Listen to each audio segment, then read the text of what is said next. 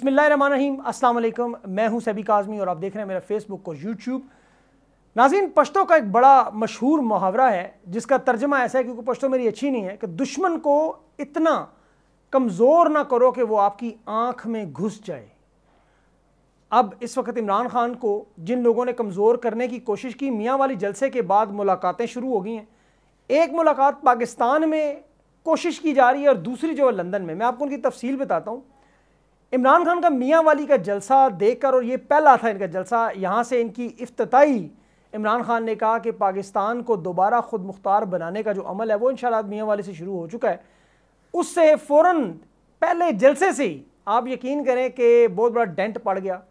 बड़े घर से, बड़े घर से, जिसका मैं नाम नहीं ले सकता बवजह मजबूरी, उन्होंने दावत दी कि इमरान खान यहाँ आए और हम आके बात करते हैं, बैठ के मुफाहमत का रास्ता निकालते हैं।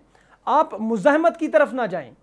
20 तारीख जो फवाद चौधरी ने भी की बड़ी इंपॉर्टेंट बात है, लोगों ने शायद इतना ध्यान नहीं दिया कि 20 तारीख तक सारे मामला हल हो जाएँगे। और अब ये मामला आपको 20 तारीख तक हल होते हुए नज़र आएँगे बाकायदा तौर पर।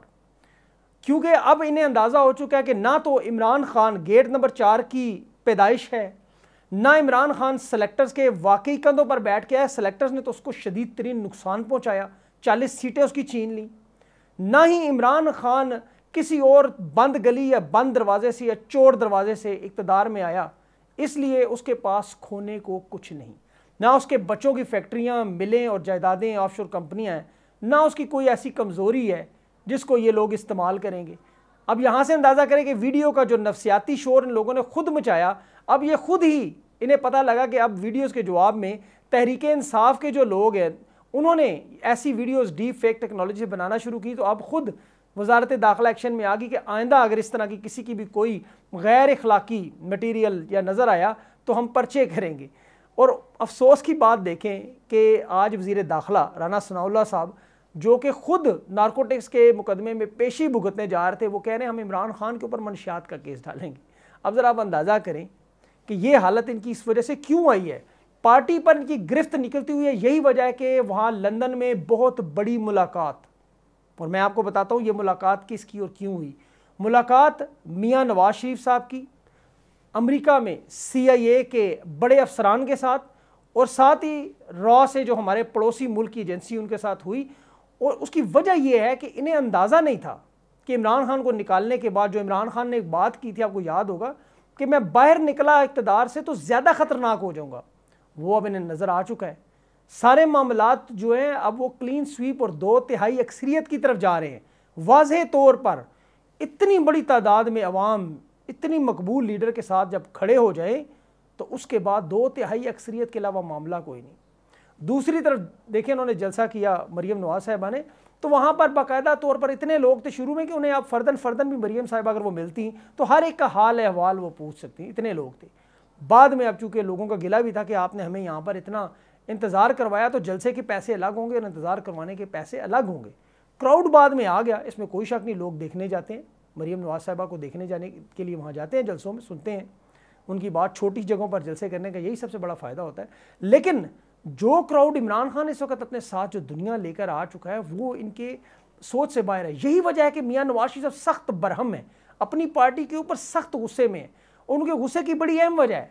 आप सबसे पहले उनकी देखें कि उन्हें मीशत का अंदाज़ा नहीं था। जिस तरह इमरान खान इन्हें कहता रहा कि 2018 में जो आप हमारे लिए छोड़ कर गए, हालाँकि इमरान खान इनके लिए देखें रिज़र्व में फॉरेन रिमिटेंसेज में कैश डेफिसिट कम करके, बिजली के तमाम मामला ठीक करके, ये कहते हैं जी बिजली के वो प्लांट बंद थे। जब इनसे पूछा गया कि आप वो प्लांट के नाम हमें बताएँ जो बंद हैं तो कोई जवाब नहीं। उसकी वजह यही है कि अब ये जो जितना मर्ज़ी ढगोसला करे, अवाम ये बात जान चुकी है कि पिछले सिर्फ़ एक महीने के दौरान, सिर्फ़ एक महीने के दौरान आठ रुपये से ग्यारह रुपये में इजाफा हो चुका है।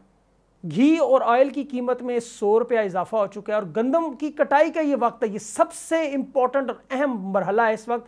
गंदम की कटाई, वरना आपकी यकीन करें शॉर्टेज हो जानी है मुल्क में गंदम की। आगे आपकी आबादी बढ़ती जा रही है। इस वक्त डीजल है ही नहीं। और डीजल न होने की वजह से जो मसाइल पैदा हो रहे हैं वो अलग। आटे और चीनी की नौ रुपये से चौदह रुपये कीमतों में इजाफा हो चुका है। खाद की कीमत में आप देख लें कि तकरीबन इस वक्त एक हज़ार रुपया जो बोरी है वो इजाफा हो चुका है। और तो और ये लोग उस वक्त इमरान खान पे इल्ज़ाम लगाते हैं कि जी इमरान खान ने हज महँगा कर दिए अब हज का आप देख लें कि उन्होंने क्या किया है कि हज पाँच लाख रुपए तक इजाफा, पाँच लाख रुपए तक। अब ये लोग गेम क्या करने जा रहे हैं? अब जो बड़ा अहम, जिस वजह से नवाज़ शरीफ साहब की मुलाकात सीआईए के बड़े अफसरान से हुई और हिंदुस्तानी, आपको पता है जो उनसे हुई। मेन वजह यह है कि ये लोग चाहते हैं कि किसी सूरत में इस वक्त इन्हें सऊदी अरब से पंद्रह अरब डॉलर मिल जाए। ये प्रेशर डलवा रहे हैं। उन्होंने बहुत ज़्यादा प्रेशर डलवाया इस वक्त सऊदी हुकूमत पर, अमेरिका से कहलवा रहे हैं बार बार कहलवा रहे हैं प्रेशर डलवा रहे हैं कि आप हमें पंद्रह अरब डॉलर जो है, और उन्हें मिल जाएँगे। मैं आपको अगली बात तो उन्हें मिल जाएँगे क्योंकि मामला सारे उसी तरफ़ इशारा कर रहे हैं, मैं बड़ी इस पर रिसर्च मैंने की। अब पंद्रह अरब डॉलर जब इन्हें मिलेंगे तो ये करेंगे क्या? ये मार्केट में वो डॉलर फेंक देंगे। अब जो डॉलर जब मार्केट में आएगा तो डॉलर की मसनू आपको पता है शॉर्टेज से डॉलर का रेट गिरेगा। फिर ये नए नोट छाप कर, और बिजली की कंपनी से जिनसे इनके मुआदे हुए हैं, वहाँ से इनके फ्रंट मैन जो वो दड़ादड़ नोट छापेंगे अपने। अपने लिए, उनके अकाउंट भरे जाएँगे, और खुला माल वहाँ बन जाएगा, और ठीक ठाक किस्म की इनकी वहाँ पर अपनी दिहाड़ियाँ लग जाएँगी। फिर अवाम को ये दिखाएँगे, देखें जी, हमने आके डॉलर भी कंट्रोल कर लिया, हमने आपकी महँगाई भी मसनू तौर पर कंट्रोल कर ली। हालाँकि जो कीमतें मैंने आपको एक महीने के दौरान बताई हैं, ये इनके बस का काम अब नहीं रहा। इसीलिए जो लोग इमरान खान को हटा कर खुश हो रहे थे, अब वो पछता रहे हैं। अब उन्हें अंदाज़ा हो चुका है कि वो जिस तरह उन्होंने तकरीब में भी कहा कि देखें, इमरान खान से हमने इनकी हर जगह मदद की, हम इनके साथ हर जगह गए, लेकिन इनसे संभाला नहीं जा रहा। अब इनको कहें कि ये संभालें, ये बड़े तजर्बाकार लोग हैं। हालत इनकी आपके सामने है कि मिफ्ता इस्माइल कह रहे हैं कि सऊदी अरब खुदारा, ये तीन अरब डॉलर जो है, वो हमारे यहाँ से अकाउंट से ना निकाले और तेल की जो अदायगी हैं, वो भी मोखर कर दे। मतलब फिर भी इन्होंने भी वही काम अगर करना है तो इमरान खान में मसला क्या था? इमरान खान में मसला ये था कि इमरान खान खारजा पॉलिसी की एक सिमत दे चुका है, जिसकी बिलावल भुटो आज पंद्रह दिन हो चुके हैं, उसे समझ नहीं आ रही कि मैं खारजा पॉलिसी की कौन सी सिमत बनाऊँ। मैं किस मुल्क के साथ जाके बैठूँ? मैं किस मुल्क से बातचीत करूँ? और जो इमरान खान जिस तरह अवाम में बयानियाँ बना चुके हैं, इस बयानी को कमज़ोर कैसे करूँ? अपने जिन दो लोग इन्हें उठाकर यहाँ लाए हैं, उनके सामने कैसे मामला? दूसरी तरफ़ जब इमरान खान ने जलसे में अलीम खान और जहांगीर तरीन के बारे में बात की तो अलीम खान ने आगे से चैलेंज कर दिया। अलीम खान को सोचना चाहिए, आप इमरान खान को चैलेंज ना करें। आप चैलेंज करना आप चेयरमैन एलडीए को जाके करें। आप उनको चैलेंज करें। चेयरमैन एलडीए ने आपके वो सारे केसेस दबाए हुए थे। आपकी वो ज़मीनों के केसेस चलने नहीं दे रहा था, जो आप बार बार इमरान खान के पास लेके जाते थे, कि ये मेरे मामला ठीक करें। आप चेयरमैन एलडीए को पकड़ें। अगर उसको भी नहीं पकड़ सकते, आप नैब के पास जाएँ, जहाँ पर आपके खिलाफ जो मुकदमात हैं, उनके जवाब दें। बजाय ये कि आप इमरान खान से मुनाजरा करें, आप अपना स्टेटस देखें। बिलाशुबा देखें, अलीम खान के साथ मेरे किसी दौर में बड़े अच्छे तल्लुक है, लेकिन अलीम खान का स्टेटस आप यकीन करें, आप उनसे गुफ्तु करें, जो लोग जानते हैं, उनका एक मेंटल लेवल एक काउंसलर से ज़्यादा नहीं है। और मैं काउंसलर की तस्दीक नहीं कर रहा, मैं इसलिए कह रहा हूँ उनका एक विजन सियासी विजन इतना है। इनका सियासी विजन एक काउंसलर से ज़्यादा नहीं है, उनकी बातें देखें। आपने सिर्फ़ और सिर्फ़ मियाँ मिठू के साथ दोस्ती करके, उस तोते के साथ, आपने वहाँ और ख्वाजा साद रफ़ीक की पैरागॉन सोसाइटी में जो उनके समधी हैं, रिश्तेदार हैं उनके साथ आपने ताल्लुक बना लिए और आपके फिर मुल्क के सबसे अला शख्सियात से ताल्लुक बन गए तो आप समझते हैं कि आप इस मुल्क के बाईस करोड़ आवाम को क्या बेवकूफ़ समझते हैं कि उनको आप जिस तरह लोगों को बताएँ कि आपको तीन सौ नहीं, तीन हज़ार एकड़ है, आपके पास तीस हज़ार एकड़ भी हो, आप वैसे ही हैं। यहाँ पाकिस्तान में मैंने करोड़ों की गाड़ियों में दो दो टके के लोग बैठे देखे हैं और दो दो टके के इस वजह से मुलाजिम उनके बेचारे डिग्गियों में बैठे हुए थे। तो ऐसे इस तरह की पैसे से लोग इंसान की शख्सियत नहीं बनती। इंसान की बाज़ लोगों की शख्सियत असल में खुलकर सामने आ जाती है। तो जहांगीर तरीन भी अब मुस्लिम लीग नून में जाना चाह रहे हैं, उससे भी कोई फ़र्क नहीं पड़ता। ये बड़ा अच्छा हुआ इमरान खान के लिए। देखें, ये लोग जो जो बयानियाँ इमरान खान के लिए, जहांगीर तरीन, अली, अलीम खान को ए टी एम्स उनके सर पर आए हुए कहते थे सेलेक्टर्स के कंधों पर कहते थे, और अब आवाम जिस तरह निकल गया अब ये तमाम बयानी है, अल्लाह ताला एक एक करके सारे बयानी महँगाई का बयानिया दम तोड़ चुका है। आपने कितने टीवी प्रोग्राम देखे हैं, कितनी जगह पे आपने महँगाई का अब ज़िक्र नहीं सुना? लोगों को ये चीज़ समझ आ रही है कि वो महँगाई खुद साख्ता इन लोगों की। रोज़ाना के टीवी शोज़ की, टॉक शोज़ की महँगाई अब आपको नज़र नहीं आ रही थी। अब महँगाई असल में शुरू हुई है, क्योंकि इन लोगों को मीशत समझ नहीं आ रही अब। फिर उसके अलावा जहांगीर तरीन अलीम खान के नाम आपको नज़र आते थे ए टी के अब वो नज़र नहीं आते। सेलेक्टर्स की बात होती थी, वो मौलाना फजल रहमान साहब कहते थे कि निकेदा अबा तो निका क्या अब बदल गया क्योंकि अबा तो वही है। तो फिर मौलाना फजल रहमान साहब क्यों नहीं बात करते? तो ये सारे मामला सबको पता चल गया कि सिर्फ़ और सिर्फ़ इकतदार की लड़ाई थी, जिस लड़ाई में ये लोग यहाँ तक पहुँचे हैं। लेकिन जिस अंदाज में इमरान खान के साथ इस वक्त कौम खड़ी हो चुकी है, अब इनके पास कोई और रास्ता रहा ही नहीं। इनकी सबसे बड़ी यकीन करें खुशकस्मती ये है कि इमरान खान रेड लाइन नहीं क्रॉस करता।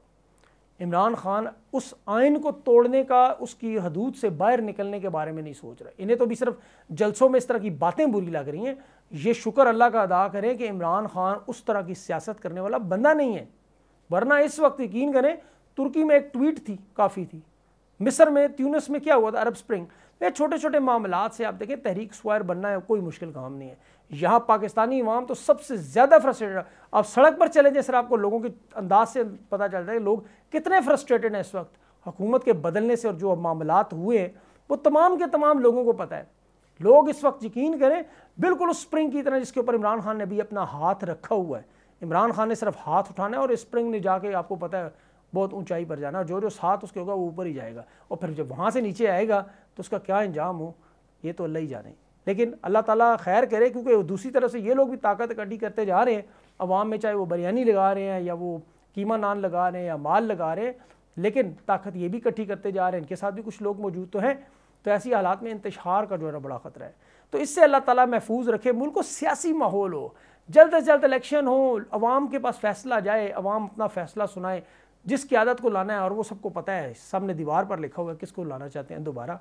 इमरान खान लोगों के दिलों की इस वक्त धड़कन बना हुआ है। आप यकीन जाने, मैं ऐसे, मुझे पाकिस्तान मुस्लिम लीग नून के ऐसे लोग नहीं मिल रहे जो खुलकर, स्वाय सोशल मीडिया पे चंद, ट्विटर पर और फेसबुक पर, आपको यकीन करें, ऑन ग्राउंड आपको लोग नहीं मिलते जो इस वक्त इमरान खान के मुखालिफ बात करना पसंद करें। ये माशरा इस वक्त हकीकी मानों में, बिल्कुल हकीकी मानों में, दो हिस्सों में तकसीम है। एक प्रो इमरान और एक एंटी इमरान। और प्रो इमरान जो है, एक कल्ट बन चुका है। पीटीआई पाकिस्तान तहरीक इंसाफ, मुकम्मल तौर पर एक फ़िरके के तौर पर बन चुका है। मैं आपको जिस तरह सियासी फ़िरका है, ये उस तरह एक सियासी फ़िरका बन चुके हैं। ये किसी सूरत में इमरान खान के साथ हुई ज्यादती को भूलने पर तैयार नहीं है। और ये हर सूरत में चाहते हैं कि इमरान खान दोबारा वजी अजम बन के पाकिस्तान को आगे लेकर चलें। और यही इस वक्त इनकी ख्वाहिश है इलेक्शन करवाएँ, दूध का दूध, पानी का पानी हो जाएगा। अपना खास ख्याल रखें। मुझे अगली वीडियो तक इजाज़ें अल्लाह हाफिज़।